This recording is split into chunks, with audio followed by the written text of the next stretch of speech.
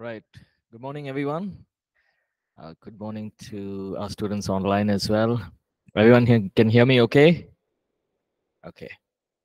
All right. Uh, let's begin with a word of prayer and then we'll pick up from where we stopped last week. Let's pray.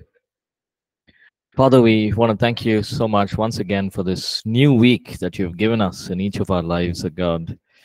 We thank you for this gift of life and this wonderful opportunity, Lord, just to come together and to learn about the local church and and the way that you, Lord, established your church, O God. And even as we learn, I pray, Holy Spirit, that you will speak in in, in our hearts, minister to our hearts, Lord. We commit each one of us in this time into your hands. In Jesus' name we pray. Amen. Amen. Okay, so uh, last class, uh, we covered quite a bit. We looked at the emergence of leaders, uh, emergence of elders, emergence of deacons. Um, uh, we looked at J- the church in Jerusalem, and then also briefly about in Ephesus how there were overseers. Uh, and so we stopped at is it uh, emergence of okay? We finished emergence of senior leaders and pastors, right? We started fivefold ministers and team ministry. Yes right? Okay, we'll start from there. So, one of the you know interesting things that happen in the early church, one of the features that we see in the book of Acts is that we have these different functions, right? The pastors, apostles, evangelists, uh, administration, overseers, and all of these th- people. But one interesting aspect is all of them worked together. They never looked at each other as okay you are you know in administration or you are an apostle uh, or i'm just a teacher. It, it was not looked upon like that right? So all the ministries whatever function that people had they worked together. There was this one mindset that we are here to strengthen the body of christ right? That's in that's really good. And i think over time I'm not saying that that this whole thing has gone away, but what I'm saying is, as a church, it's very important to understand that God gives us different gifts, but our responsibility is that these gifts are used to build God's kingdom. So we are never to look at it as he is better or she is better, this task is better, teaching is better. No, all of them work together to build the body of Christ, right? Uh, and if you look at the church in Antioch, it's an interesting case study.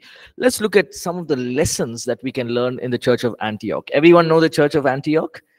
Yes? The church of Jerusalem had started, persecution happened, believers went eh, to different places, and uh, the church in Antioch was established.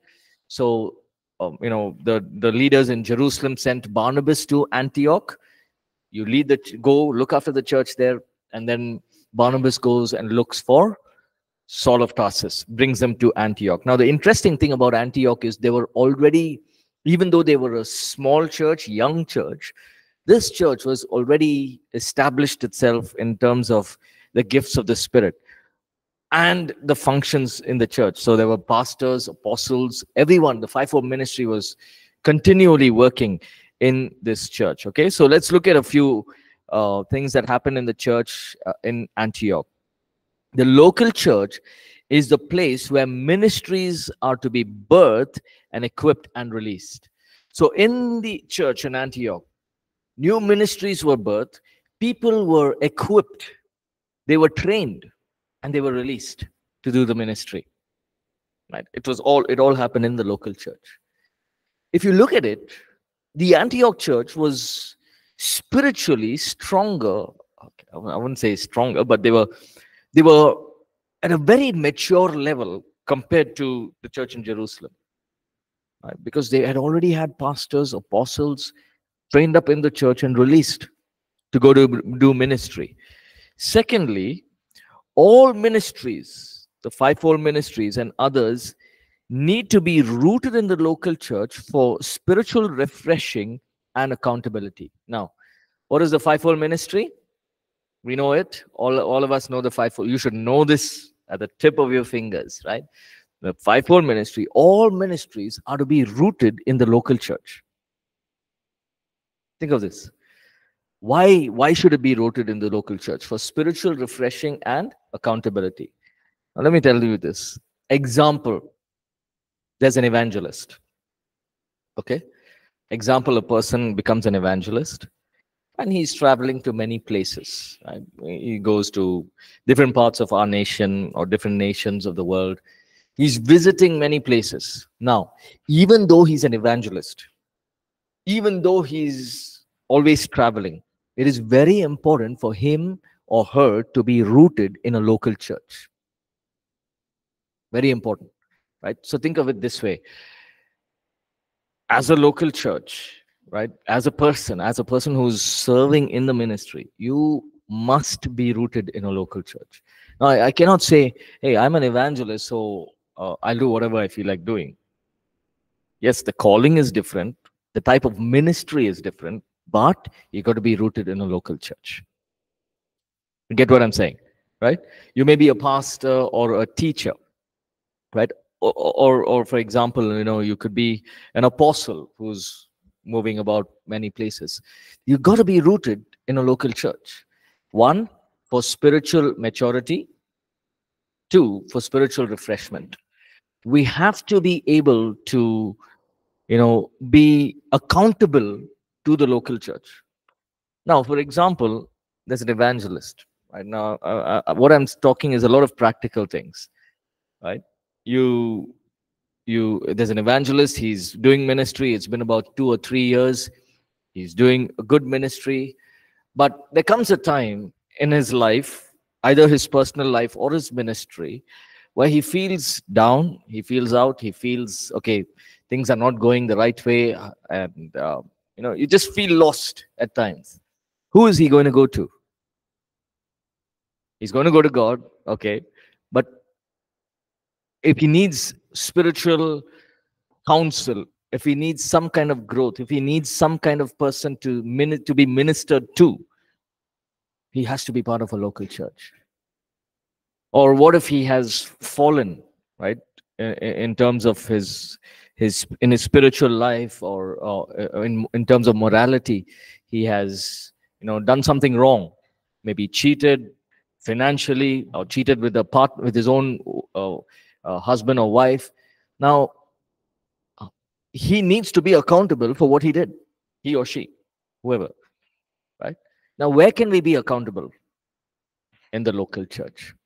Right? Now, I do understand that over time we grow, we mature in Christ, we get to a place of you know maturity, but not one of us are invincible.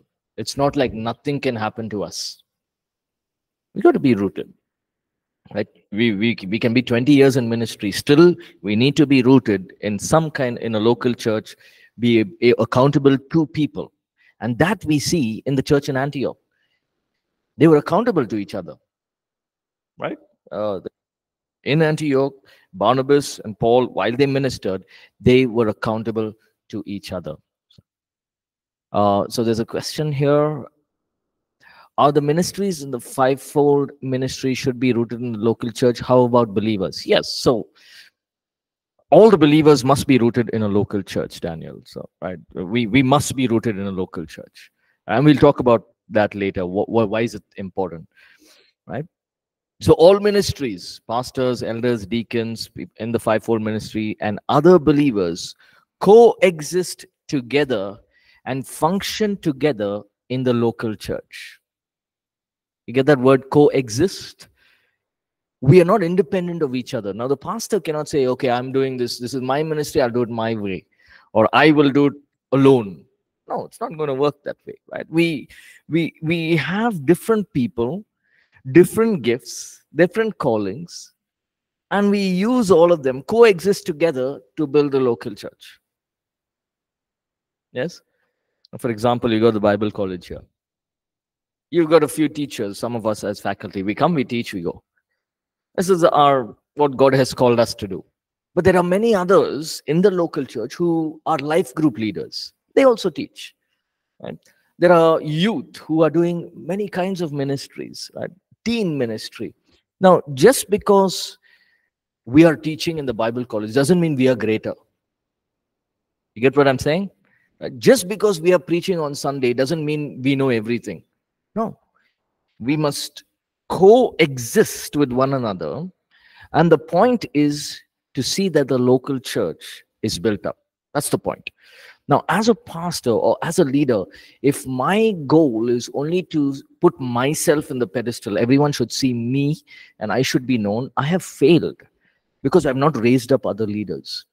I'm not able to coexist with each other. And the body of Christ is not growing. Every Sunday we are going, preaching, coming back.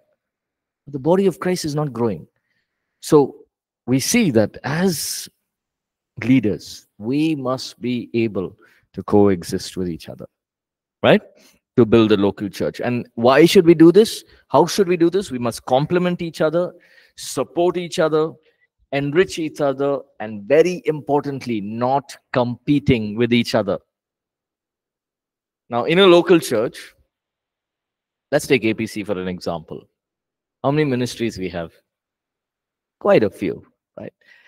You've got the life group ministry, men's ministry, women's ministry, teens ministry, uh, children's children's ministry, youth ministry. What else? Publications. So there's so much media team.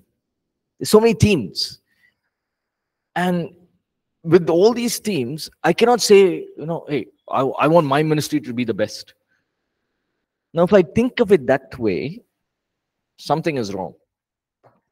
Because I must think of it in a way that, hey, whatever God has given me, whatever ministry God has placed in my hand, I should do my best, complementing each other. Right? So, for example, now uh, let me just share this. When I've shared this before, I think, but I don't know if it was this cl this uh, class. When we have a conference, we work six months ahead. Six months ahead. So, for example, we have a men's conference in December, right? So in the month of June, right, before the month of June, all the preparation should have been done, meaning the speakers, the venue, everything, the date, everything is fixed. Okay.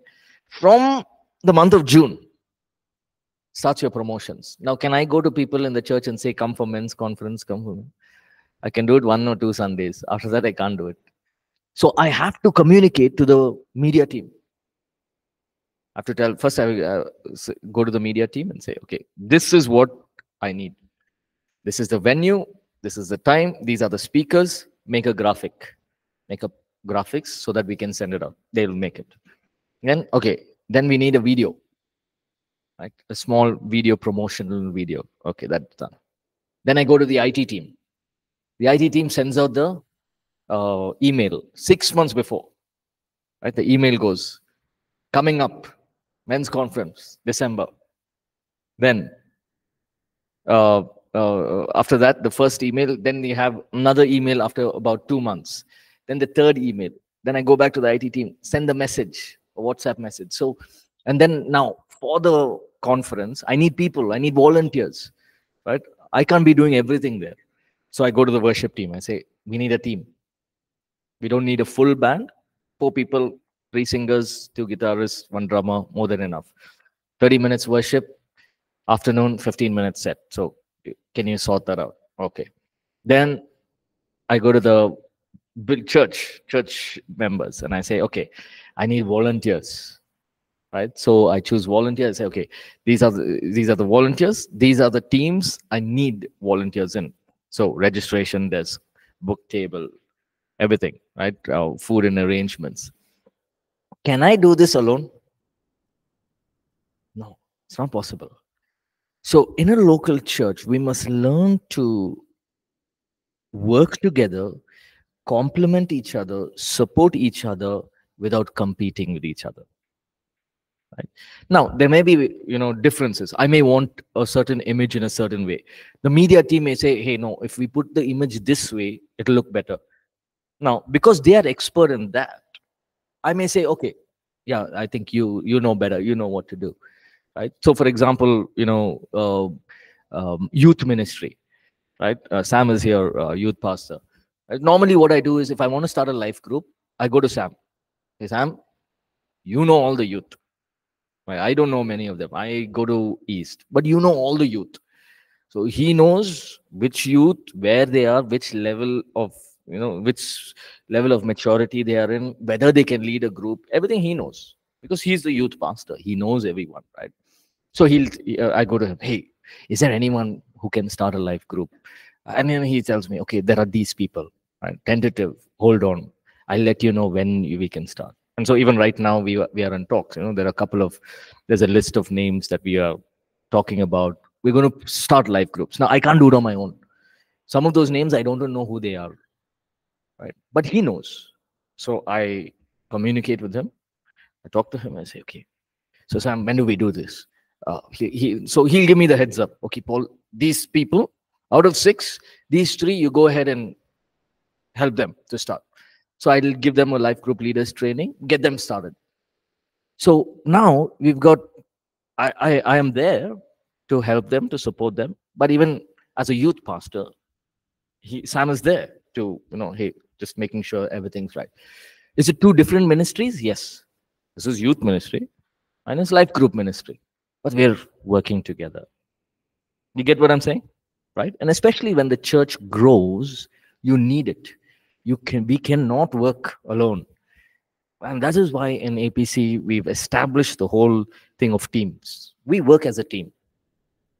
There is not, there's nowhere where you see one person is glorified or one person is given all the credit. It's always a team. Right? And it's good to do this because what you're doing is you're you're you're you're establishing the local meaning you're you're setting things in the church you're you're building this uh, attitude or this culture of teamwork right? And so we see that here as well. Uh, the next point we see is the calling and ministry of some people will require them to go out to different places uh, whereas others may be called to minister in the local church. So again uh, we, we know a lot of uh, evangelists and like Ravi Zacharias, Billy Graham, all these wonderful evangelists. They go to many places, minister, but they're all part of a local church, right? They, I'm sure they all have are part of a you know a home church that they would have. So there's some of them whose calling is that. There are some who God will say, "You be here, stick to this place, build the church, raise up leaders, look ahead." Right. So even as each one of you, you know, you plant teams, you start ministries, always learn to raise up others and work as a team right? So for example some of you may be in the you know the in the north church as you are serving you may be one person may be part of ushering. So you you may have some new people coming into church train them up. So just build a conversation learn to talk to them. Hey you're good at this. You join me. Just stand with me. That's it. And then eventually you tell them did you enjoy? If they say yes why don't you join the ushering team? There's no big training. How to shake hand. They'll teach you that's it. Not a big training so simple things. And what you're doing is you're from small from you know from the time you start off ministry you know okay hey i have to form a team. That's you know it's engraved inside you no matter what. So even when you go out start your ministries you'll you'll begin to think that way. Okay i need people. I need to start a team and uh, that'll keep your church and your ministry strong. Okay, let's get into the next portion different forms of church structure. Okay, Daniel has a question. Pastor, what can we do if the church pastor likes everything on its own instead of building team? Uh, then that pastor is not um, walking in line with the word of God. So um, I feel what you can do is get the leaders together and uh, go and talk to the pastor. Tell him, Pastor, I think it's important that we should start teams, uh, raise up a, a, a team. So you, you, I think you, you can. What you can do is take some elders, go and speak to the pastor. You should do that. Okay, different forms of church structure. So you have the clerical system, which is the mainline traditional denominations. I think many of us have come from one of these denominations. Uh, uh, Methodist, Anglican, and so many other Baptist. Uh, then in these in this clerical system, there's a distinction between clergy and laity. That means uh, the clergy are the ones who do all the work, are the leaders of the church. They do everything. What does the uh, uh, laity do? Come sit, listen to the service, go back home. Nothing to do. That's the clerical system. The local uh, clergy are under control over everything. The local parish gets, uh, you know, it's it's it's everything is under the control of the leaders, right? Uh, usually in this system, there are a threefold order, which is bishops, priests, and deacons. Right? And interestingly, these are still there, right? Plenty of them all across uh, our nation, all across the world, actually. There is the clerical system that is still functioning. But it's sad because um, I'm not saying it's wrong, but it doesn't give an opportunity to raise up leaders. So a person can go to a church, right, and be in that church for 20 years and still be in that same level of maturity or not being able to serve in the church. Why? Because he's laity. Right? So they, there's a there's a very strong distinction made between these two clergy and laity. Then you have the elder system church, which is led by a group of elders, right? It is cooperative leadership. Now, what is the problem in this? There is not one pastor leading the church. You've got about four, five uh, elders leading the church. What is the problem? Number one problem is vision casting. Now, for example, I have four people with me, and I say, hey, let's get together. We, we, we've planted the church. We're looking after the church, right? Now, I may have a vision to have three months Bible college. This other person may say, hey, no need Bible college. Let's focus on the church. Now, the other person may say, no, let's have one year Bible college. The other person may say, let's have two years Bible college. Right? Now, what's happening? All four of us are there. We have we we are leaders of the church but we all four have four different visions. So you ask me what's your vision? I want to see young people raised up and taking on leadership. This is the next person. What do you want to see? I want to see that this church will grow to you know 500 people. So there's nothing wrong but you see the vision is different. So when there is you know cooperative leadership progress can be stifled meaning it can it becomes very disturbed. It can it's a place where there is a lot of confusions can happen disagreements can happen and keeping the unity in this kind of system is very hard. It's a very stressful thing. Remember paul and barnabas? When paul and barnabas only had a strife what did paul say? What did barnabas say? Let's take john mark and go. We're going back to galatia right? No i'm not taking this guy he left us at Paphos. He just said, No, I'm going home, and he went home. And now you want to take him and go. No, I'm not coming. I'm not, I'm not taking John Mark. You come, we both will go. The strife was so much that Paul and Barnabas separated.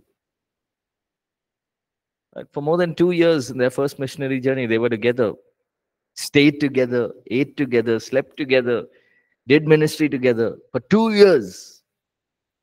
Such a small disagreement they parted ways. So here's the thing. In in the elder system i'm not saying it's not like it won't work but it, you really have to be in one mind right? And there's going to be disagreements. You need to have the wisdom of god to make sure that you know decisions are made unanimously together uh, and that is that will benefit the local church. And then comes the independent local churches led by individual pastors and the pastoral team right? Uh, plenty of room for vision, plenty of room for creativity, plenty of room for growth. Right? Why? Why is it? Because as a these independent churches, right? So, for example, uh, as a pastoral team, we can always we always talk about it, right? We have a pastoral meetings. We always talk about what to do. Right? So I, I don't know if I was sharing it here, but um, you know, we, we think, okay, so what do we do now? Bible college ends in May of last year, right? April. So what do we do? April, May, June, July, four months we have. What do we do? Okay, so let's do a short-term course, three months course. Right? We'll get people from all across India come study. We'll have it online as well. Those who want to join online can do it online. Uh, those who want to, uh, you know, come here and study, they can do it. Now these decisions are made together, right? And certain decisions, uh, when it comes to church, you know, we all make it together, right?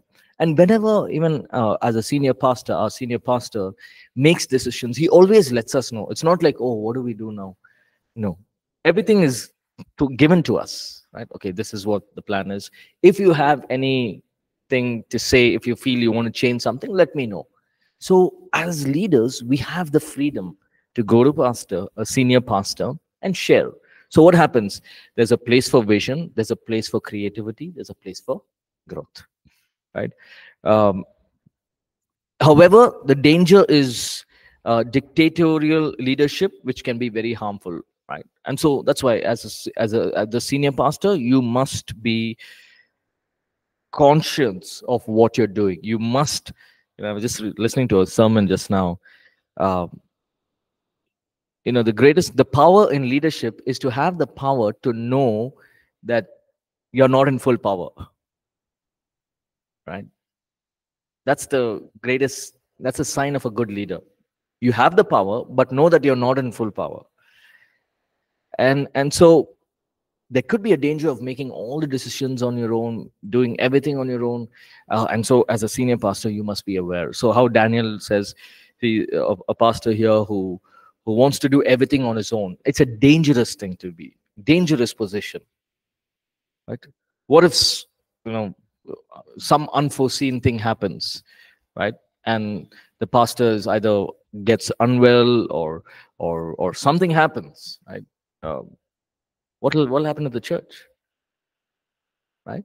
So we must understand that raising teams raising up leaders is the number one priority as a leader we see are we talking out of our own understanding no. what did jesus do first thing jesus did was after his 40 days of fasting he came and he said what he chose the 12 disciples he said now get ready. Then he chose the 72. Get ready. Go. So it's something that we must do. Okay? Yeah, go ahead. So, uh, uh, regarding about making raising your leaders, so in our area, what the pastors they'll do is what the fear they have is, you know, they'll prepare the leaders, they'll raise the leaders, they'll train us for many years. So what they'll do is uh, they'll go they like you know they'll leave the church and they'll start a new church mm-hmm. they'll uh, they'll yeah. take all the church believers and so what we do for that yeah see this is very prevalent in india right now we have to look at it in two ways number one is yes it is difficult when this happens because you've invested in a person for so many years but this is where we must be kingdom we must have kingdom mindset right now for example there's a person that I know, right? This young person, he joins the church. Um, and this happened in Mangalore, right? Young guy. So I gave him all the, op- you give him all the opportunities. You train them, you take them everywhere, uh, give them opportunities to lead the youth group. So for many years, they're with us. And there'll come a time when they want to start their own ministry. As leaders, a good leader should not be insecure he should pray over him, bless him, and send him on his way. The moment I say, no, you you stayed with me, for, I trained you for four years, you have to stay here only, that means the pastor is taking control over the person. We do not have control over anybody. Right?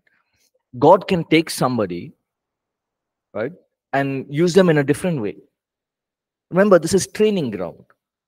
God can God has used Moses, you know, uh, trained Moses in the palace, used him in the desert, trained Joseph in the desert, used him in the palace. So our training can be different.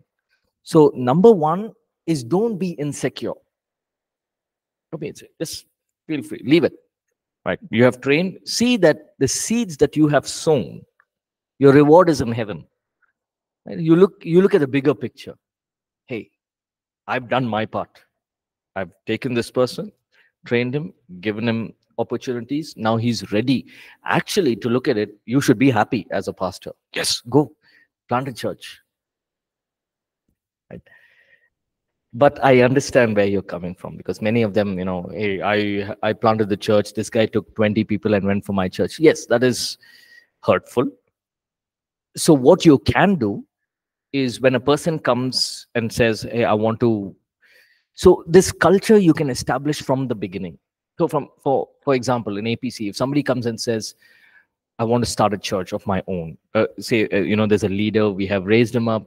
He says, I want to start a, a, church on my own. We'll pray over them, we'll bless them, we'll release them. But something that we will tell them is, see, we must do it in a respectful way.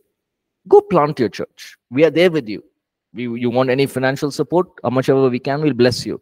You need any any kind of other material help. If there are things that I have, tables, books, anything you need, we'll help you. But make sure that you don't uh, you know that you have divine order meaning don't take members from this church and go there. What's happening is you're causing confusion. Right?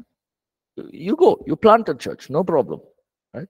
But don't connect with once you move out forget about this believers here. You're free to come and talk to me you're free to you know come ask questions discuss. All of that is okay. But don't take members from here and you know uh, tell them come to my church and all that. That would be wrong. So this is something that you can tell them right? Uh, i'm not saying now in india it does happen a lot especially in uh, towns and villages it happens a lot. Uh, but i think we can change that culture. More the churches better right many more lives many more impact more impact. Uh, remember that you know one of the things i've noticed is pastors worry because where will i get my offering from right? When believers go especially in city towns and villages. Don't worry. That's something that we must trust god with. And, uh, uh, but that mindset should change. It's come over many years so it's uh, we should change that mindset. Right? Um, failure in proper succession can leave years of hard work into ruin. Imagine this. Two examples. God chose Moses. Moses brought the people out of Egypt. They've come near the uh, you know rivers of Kadesh. They're almost they're going into the promised land. Imagine at that time Moses is looking, okay, who's there to take these people into the promised land? I'll go, I'll go, I'll lead them. Imagine how it would have been. Would it make sense? So they would have all fought among themselves. No, you don't know anything. How can you take us? But it's the Bible says that God took the spirit of some of the spirit of Moses and put it on the elders, and that same spirit on Joshua. When people saw Joshua, they realized he's the guy who's going to take it. Why? Because they knew. They've seen Joshua with Moses. They've seen that mantle is going to move, move into Joshua's life. So nobody opposed it. Nobody said, We don't want Joshua. They were glad. Okay, Joshua, he's a good leader. He can take us in. Now imagine if Moses did not do this. It would have been confusion. Maybe those 70 leaders there, they would have all had different ideas. Let's take a left. The other person said, Let's take a right. No, we'll wait here for two more months. Joshua knew exactly what to do. This is how we're going to go. Be strong, be courageous, the Lord is with us, we will go to the promised land. So all that hard work was worth it for Moses. When he laid hand on Joshua, he said, Okay, I've done my part. The hard work is done. Now, Joshua, you may have another set of troubles that is yours, but I've done my part. You are the successor. Think of Paul and Timothy. Paul took Timothy as a young boy, 17, 18 years old, very young boy raised him up, trained him. Paul writes and he says, You saw me, you saw my life, Timothy, you saw everything that I did. And he raised up this Timothy. And then when he was looking for a leader for the church in Ephesus, he says, Timothy, you go there. You lead the church. Now imagine uh, Paul thinking, okay, who's going to lead the church? What are we going to do? He had leaders. See, he he thought of everything ahead, way ahead. Right? He chose Titus, Epaphras, so many leaders. He, the moment they became believers, he used. He said, "Okay, start training them, because I'm not going to be here. Somebody else should take it on." So all the hard work can become nothing, can go to waste if I don't have a successor. And not only in the early church, but if you look at even in the 1900s and uh, the early 1940s, 1950s, uh, there are many, many churches and ministries which shut down because there was no second level of leadership. So all the hard work of planting the church, doing the ministry, I mean, it, it just went away. Of course, there are rewards for that, but then the ministry did not continue. Right? So when we plant a church, when we plant a ministry, always think ahead. If I am not there, who's going to do it after me? Right? Some of the things that we talk, we have something called the emerging young leaders. We and uh, you know, Pastor Sam and uh, you know the team there, they they they look for leaders. Who can be the next leader? Right? We we want to do that because that's that's something that's going to happen. We are not going to stay young forever and we can't be doing ministry forever. We need to give people opportunity. That's what ministry is about. Right? And so that is what you can do in a independent church. Go ahead. Uh, Can you use the mic, please? So that the others can also hear. some independent churches they have their own lineage of family only they try to keep grooming. And in some churches they leave uh, set aside the family and uh, as god leads they Yeah. bring other things Yeah. so which is you know uh, kind of you know more healthy uh, the Okay. universally Yes, that's a good Gotcha. question. Now, listen, uh, uh, you understand, everyone understood the question, right? You got to, uh, parents who planted the church and then they have maybe two or three children and they're doing everything in the church. Now, there are advantages, there are disadvantages, right? Now, if a person doesn't know how to sing, so for example, the parents, there's, there's a son, he has a son and a daughter, two children. Now, the son doesn't know how to sing, he can't keep a note. You can't tell him be a worship leader. You sing because you're there. No.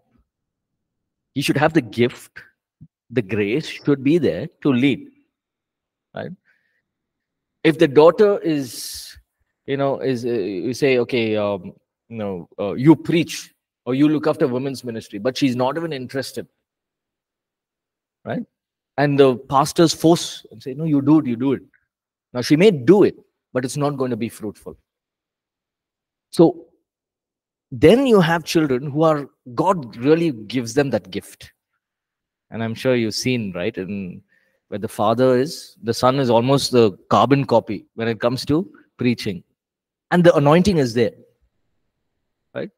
I can name many of them, uh, especially in South India, we have a lot of them. Right?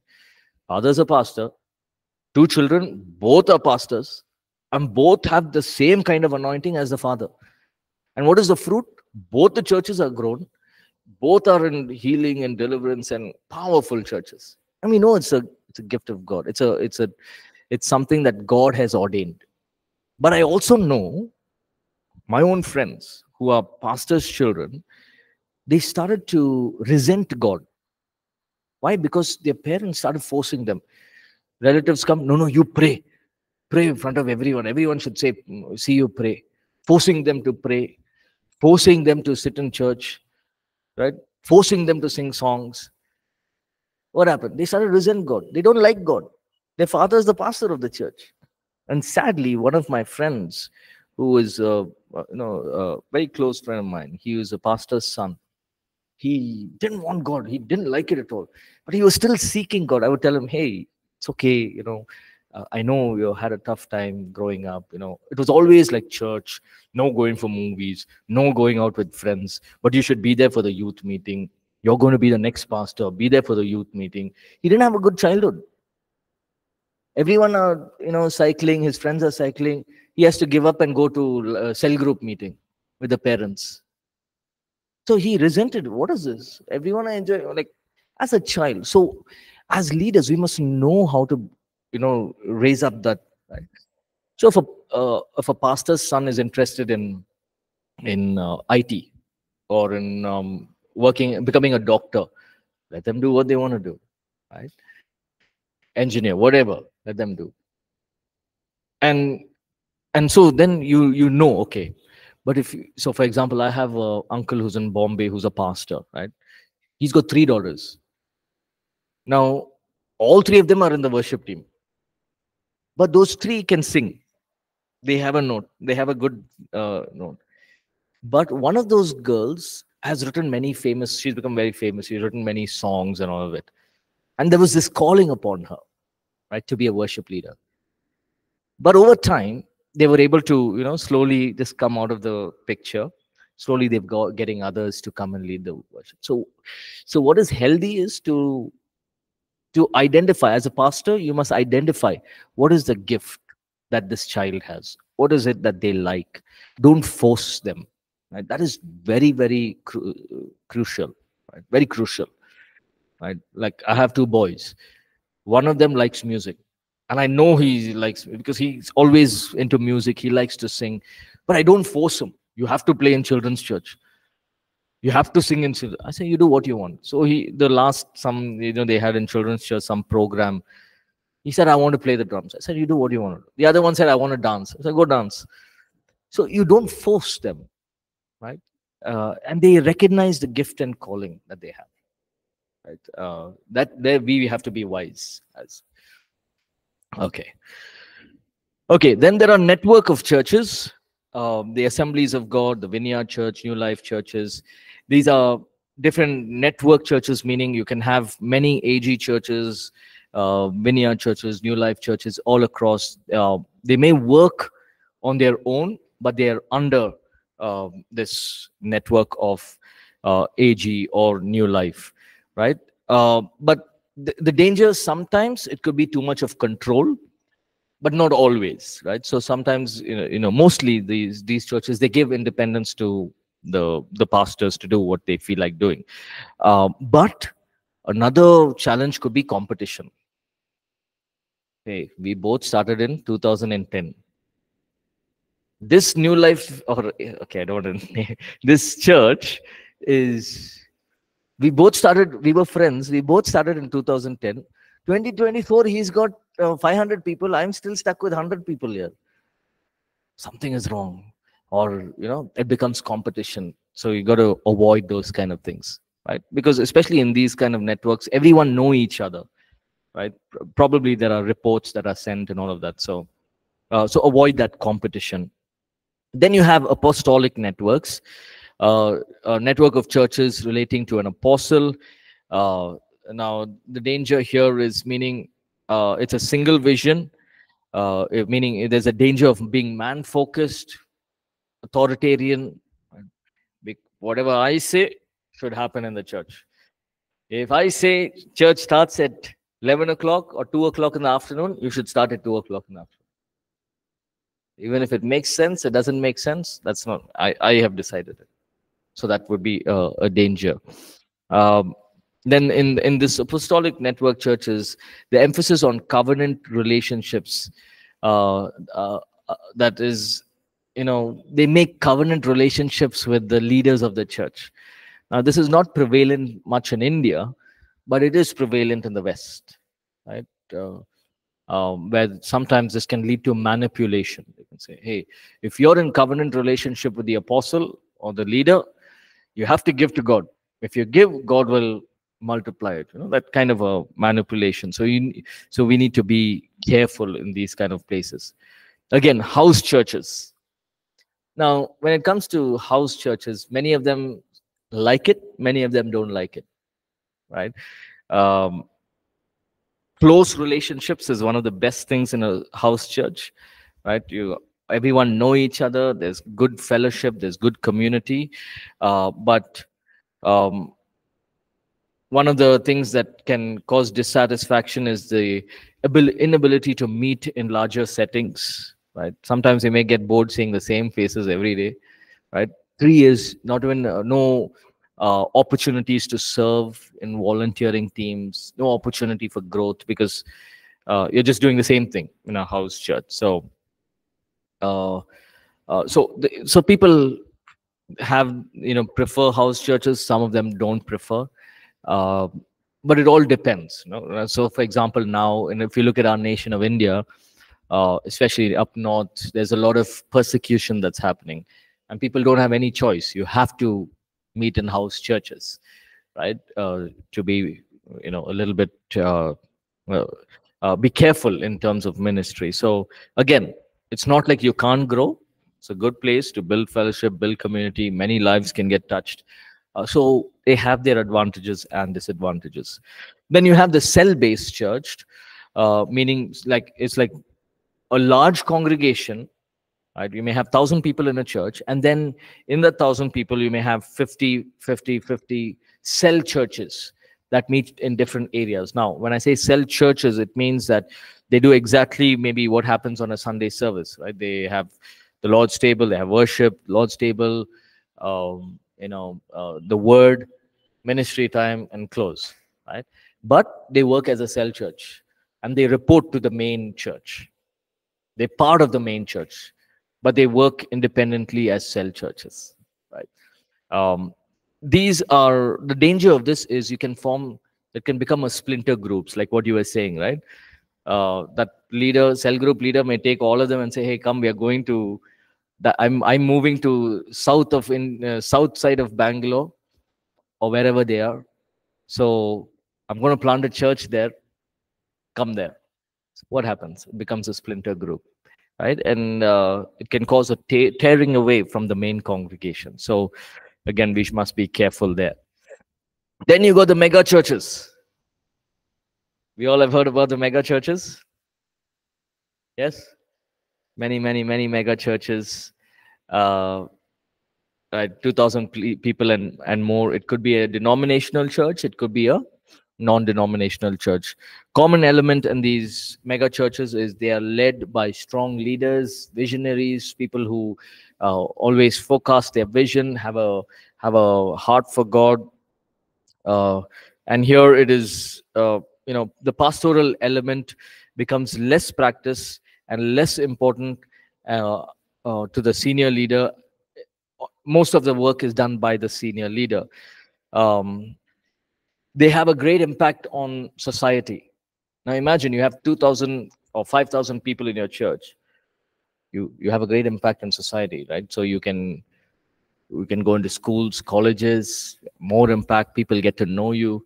I remember this uh, one of the churches during covid here we have a quite a few mega churches here in india and one of the churches had those you know the car uh, attend service drive-in church and the entire nation was talking about this. Oh a drive-in church in india and in bangalore. So many new people came. They wanted to see what's happening. Many lives were touched. Many of them by listening to what has happened they, they became believers right? So we have a kind of an impact over people. Uh, uh, then mega churches are not bad. They're not dangerous but uh, uh, because of their visibility uh, any failure or problem within the church could cause great public criticism. While you know smaller churches nobody may talk about it but bigger churches if even if it's a small mistake it can just be blown up and it may come in the news and all of these things. So uh, again what i'd like to say is if you're a big church big responsibilities you'll need to also learn how to handle these criticisms that come our way right? Okay let's take a break and we'll come back and continue